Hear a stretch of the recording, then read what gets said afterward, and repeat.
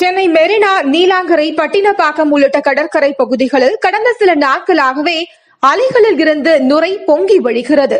பார்ப்பதற்கு பனி பிரதேசத்தில் இருப்பது போல் தோன்றினாலும் நுரை கடற்கரை முழுவதும் பரவி கிடப்பது சென்னை வாசிகளை அச்சமடைய வைத்துள்ளது. கடற்கரை வந்து அலைகளின் மாற்றத்தை பார்க்கும் மக்கள் ஏனோ அந்த நுரை தள்ளிய தண்ணீரில் காலை வைப்பதற்கு சிலர் அஞ்சுகின்றனர். ஆனால் சின்னஞ்சிறுசுகளோ பொங்கி வழியும் நிறையில் கும்மாளமிட்டு மகிழ்ச்சியை வெளிப்படுத்தி வருகின்றனர்.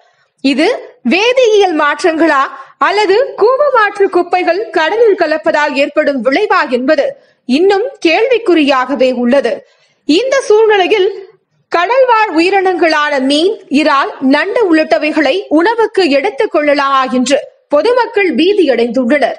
இது எந்தவித ஒரு தாக்கத்தையும் ஏற்படுத்தாது ஒரு சில நாட்களில் தானாகவே சரியாகிவிடும் என்ற மாசு கட்டுப்பாட்டு வாரியத்தின் பதில் மக்களை மேலும் சந்தேகமடைய வைத்துள்ளது. கடல் நீரில் ஆக்சிஜன் குறைபாடு ஏற்படும் போது இது போன்ற நுரைத்தட்டுகள் கரை ஒதுங்குவது வழக்கமானதுதான் என்று மீனவர்கள் ஒரு கருத்தை முன்வைக்கின்றனர்.